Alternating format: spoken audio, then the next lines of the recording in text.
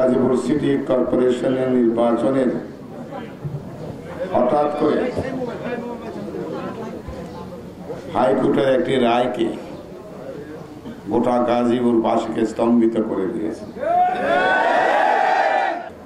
আমার জীবনের সর্বস্ব দিয়ে হলো এই জনগণের গাজীপুরবাসীর এই মনের কথা, তাদের এই ভোটাধিকার যাতে স্বাধীনভাবে প্রয়োগ করতে পারে তার জন্য আইনি লড়াই মাঠের লড়াই রাজনীতির লড়াই জনগণের পক্ষে এই লড়াই করে যাব।